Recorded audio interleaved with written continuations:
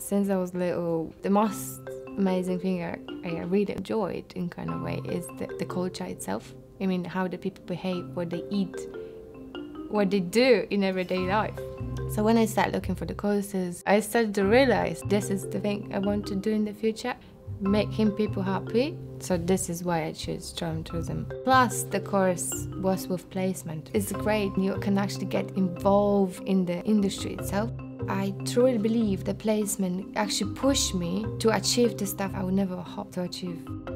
Students are found all over London from major international hotels such as the Savoy, tourist offices including Visit London, transportation companies such as Thameslink, Eurostar. All these companies are London based and we've been fortunate in securing positions with, with many of them.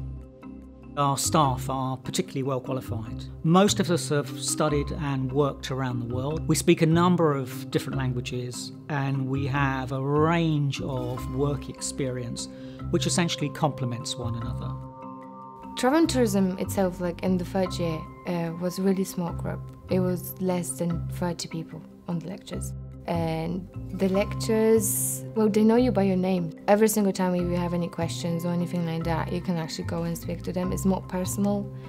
One of the main reasons to study in London, especially in this uni, you have many, many different opportunities. You can't get this in a small town. You have to be in a big city.